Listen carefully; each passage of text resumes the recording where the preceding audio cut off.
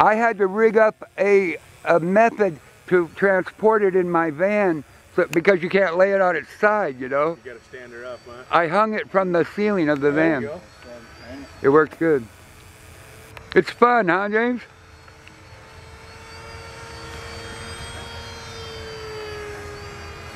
That'd be inside a building. They, g- I, I think I'm gonna run over there if I got 15 bucks on me and buy the other one.